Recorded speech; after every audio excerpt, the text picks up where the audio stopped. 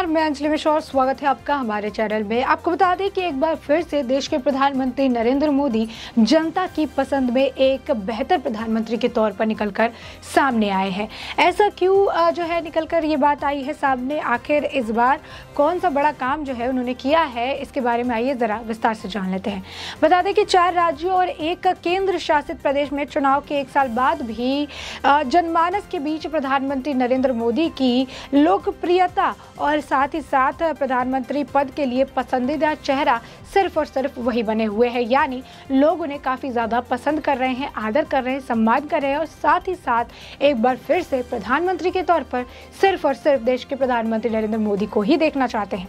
दूसरी ओर राहुल गांधी की अगर बात करें, दिल्ली के मुख्यमंत्री अरविंद केजरीवाल की बात करें तो वो प्रधानमंत्री नरेंद्र मोदी से काफ़ी काफ़ी काफ़ी पीछे हैं। मानी कई पायदान जो है वो नीचे की तरफ़ है। ये चार राज्य असम पश्चिम बंगाल, तमिलनाडु और केरल और साथ ही केंद्र शासित प्रदेश जो है, पुडुचेरी से आई एन एस की ओर से जो C voter I N S की तरफ़ से सी वोटर सर्वे द्वारा किए गए एक विशेष सर्वेक्षण के दौरान सामने आया है, जहाँ 2021 में विधानसभा चुनाव हुए थे। मोदी उन सभी राज्यों में केंद्र शासित प्रदेशों में प्रधानमंत्री के पद के लिए पहली पसंद है। जहाँ पिछले साल चुनाव हुए थे।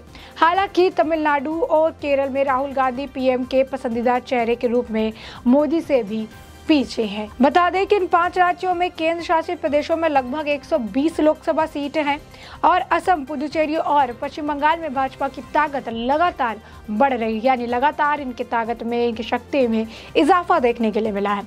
जबकि कांग्रेस तमिलनाडु में गठबंधन सहयोगी है और केरल में विपक्ष में है। ये पूछे जाने पर कि आपको क्या लगता है कि प्रधानमंत्री नरेंद्र मोदी के लिए सबसे उपयुक्त, प्रधानमंत्री पद के लिए सबसे ज़्यादा उपयुक्त उम्मीदवार कौन है? क्योंकि 2024 में एक बार फिर चुनाव होने वाले हैं और ऐसे में इन 2024 के चुनाव पर सभी की निगाह टिकी हुई है। तो ऐसे में ये पूछे जाने पर कि आखिर प्रधानमंत्री पद के लिए सबसे उपयुक्त उम्मीदवार कौन है? असम में तिरालीस मतदाताओं ने, उत्तरदाताओं ने जो है मोदी का समर्थन किया। उनके, उसके बाद केजरीवाल को ग्यारह दशमलव जो है बासठ प्रतिशत राहुल गांधी को दस दशमलव सात प्रतिशत का समर्थन मिला। केरल में जहाँ से राहुल गांधी ने 2019 में लोकसभा चुनाव जीत, वहाँ पर 28 प्रतिशत उदारदाताओं ने कहा कि पीएम मोदी उनकी पसंद है।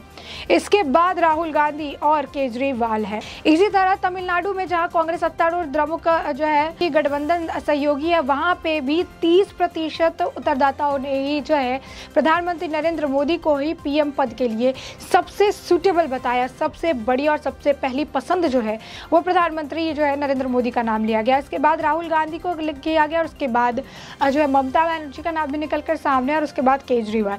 तो ये जहाँ पर विपक्षी पार्टी एक साथ आके 2024 के चुनाव को लेकर लगातार जो है मजबूती बना रहे हैं, लगातार जो है इसे लेकर तैयारियाँ कर रहे हैं बड़ी बड़ी बातें भी करते नज़र आ रहे हैं बड़े बड़े वादे करते नज़र आ रहे हैं। लेकिन इन सभी के बीच आपको है, इन सभी को पीछे छोड़कर कोई आगे चल रहा है तो वो प्रधानमंत्री पद के लिए एक बार फिर से नरेंद्र मोदी जी का चेहरा चल रहा है। बता दें कि राहुल गांधी का जो आप देख सकते हैं, चिंतन शिविर वो लेकर आए। चिंतन शिविर में कई सारे मुद्दों पर बात की। 2024 के लिए रणनीति तैयार की। उन्होंने कहा कि हमें लोगों के बीच जाना होगा, उनके बीच जाकर बैठना होगा, समस्या का समाधान निकालना होगा। हर लोगों से जाएँगे, उनके पास, उनके घरों में जाएँगे, उनकी परेशानी सुनेंगे, उसका समाधान निकालेंगे। क्योंकि 2024 में ज़्यादा वक्त नहीं बचा हुआ है।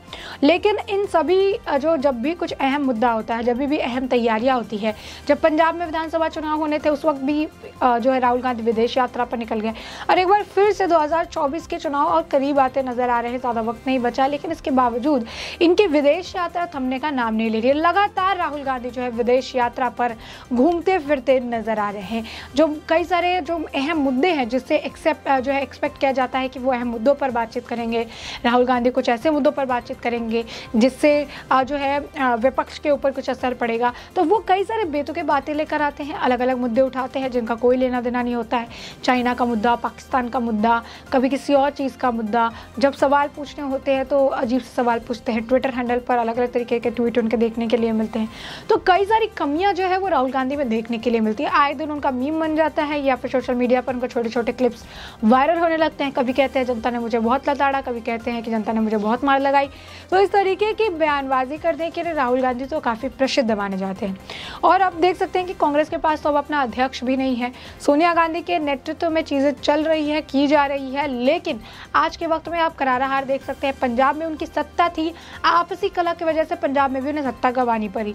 अब जो है कांग्रेस गिची है मतलब जो है कांग्रेस जो है अब कहीं पर बची कुछ जगहों पर जो है उनका अस्तित्व बचा है, लेकिन उन अस्तित्व को बचाने में भी काफ़ी ज़्यादा मुशक्क़त करनी पड़ रही है सोनिया गांधी को, क्योंकि राहुल गांधी राहुल गांधी के नेतृत्व को कहीं ना कहीं एक्सेप्टेंस मिलना आज के वक्त में कांग्रेस में एक बड़ी बात और बड़ी विवाद हो चुकी है।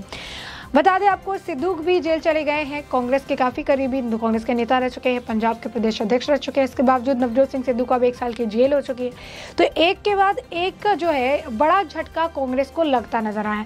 केरल में भी उनका हाल ऐसा बेहाल है, तीस प्रतिशत लोग जो है, प्रधानमंत्री पद के लिए नरेंद्र मोदी को पसंद कर रहे हैं। फिर राहुल गांधी का नंबर आ रहा है। आने वाले वक्त के साथ ये और घटता चला जाएगा, क्योंकि वो वहाँ पर भी जनता से इंटरेक्ट नहीं कर रहा वहाँ पर भी जनता से जाकर उनसे बात करके उनकी समस्या सुनना, नहीं, उन्हें विदेश यात्रा करनी है, उन्हें नेपाल घूमना है उन्हें कहीं और घूमना है यूके जाना है तो ये हमेशा से एक दिक्कत जो है राहुल गांधी और कांग्रेस के साथ रही है कि राहुल गांधी विदेश चले जाते हैं और फिर उनकी विदेश यात्रा से जुड़े सवालों को कवर अप करने के लिए कांग्रेस के कई नेताओं को सामने आना पड़ता है और जवाबदेही जो है देनी पड़ती है। साथ ही आपको बता दें कि बात करें अगर अरविंद केजरीवाल की तो अरविंद केजरीवाल का हाल भी काफ़ी बेहाल नज़र आ रहा एक तरफ़ दिल्ली में भी जो है अब लोगों के सुर बदल रहे हैं अरविंद केजरीवाल क्योंकि उन्होंने जो फ्री इलेक्ट्रिसिटी दी थी उसके ऊपर भी उन्होंने शर्तें लगा दी।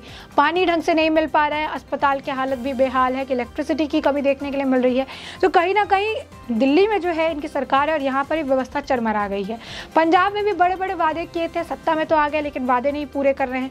आते ही किसानों का विरोध देखने के लिए मिला। आम जनता विरोध प्रदर्शन कर रही है। किसान सड़क पर उतर आए हैं। चंडीगढ़ में विरोध प्रदर्शन करने के लिए तैयार है। कई सारे मुद्दे उठाए जा रहे हैं। इलेक्ट्रिसिटी का मुद्दा वहाँ पर भी काफ़ी तेज़ बना हुआ है। तीन सौ यूनिट इलेक्ट्रिसिटी देने की बात कही थी, उसका भी कुछ नहीं किया। ड्रग माफिया खत्म करने के लिए कहा था, उसका भी कुछ नहीं हुआ।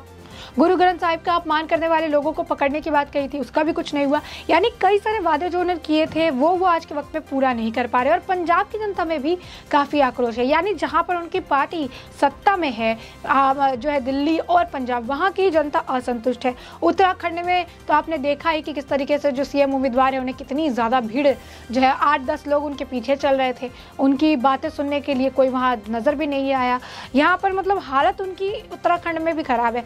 उत्तर प्रदेश में भी उनको जो है करारी हार गोवा में भी उन्हें करारी हार तो आप यहाँ पर देख सकते हैं कि लगातार जो है इन्हें मुँह की खानी पड़ रही है और जहाँ पर इनकी सरकार है, वहाँ पर भी वो चीज़ों को संभालने में जो है विफल नज़र आ रहे हैं। काफ़ी असफलता इनके हाथ लग रही है। खालिस्तानी मुद्दे से भी इनके इमेज को काफ़ी ज़्यादा नुकसान पहुँचा है।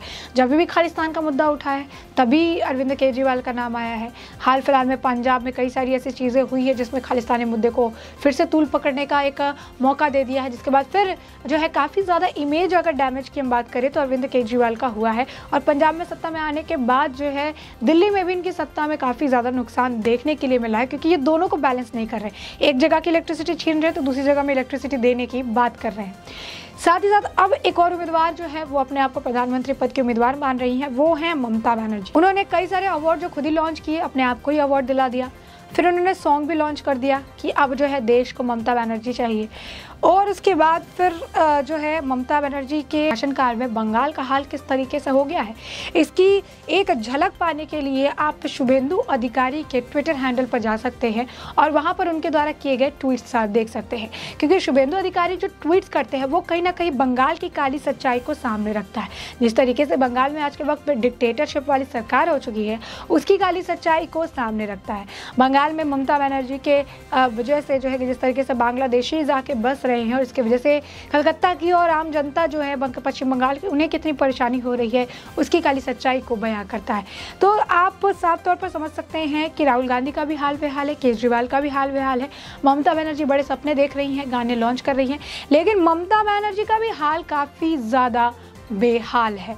अब इन सब के बीच एक और जो चीज़ निकल कर सामने आती है, जो भाजपा के कट्टर विरोधी हैं, वो है महाविकास आघाड़ी की सरकार, जिसमें शरद पवार कह लीजिए, उद्धव ठाकरे कह लीजिए, लेकिन इनका भी कोई चांस नज़र नहीं आता है। उद्धव ठाकरे के मंत्री कहते हैं 2024 में उद्धव ठाकरे ही प्रधानमंत्री बनेंगे, लेकिन उद्धव ठाकरे और उनकी जो जो सरकार है आज के वक्त महाविकास आघाड़ी की सरकार, वो आपसी फूट से ही परेशान है। इनके नेता आपस में ही लड़ते रहते हैं, इनके ऊपर कई सारे घोटालों के आरोप लगे हैं तो इनका भी बिल्कुल भी चांस नहीं बन रहा। यानी साफ़ तौर पर प्रधानमंत्री पद के लिए एक बार फिर से सबसे सुटेबल सबसे योग्य अगर कोई कैंडिडेट है तो वो प्रधानमंत्री नरेंद्र मोदी है। और ये हम नहीं, ये सी वोटर्स और ये जनता कह रही है, ये जनता जो है बता रही है और उनकी पहली पसंद प्रधानमंत्री नरेंद्र मोदी जो है।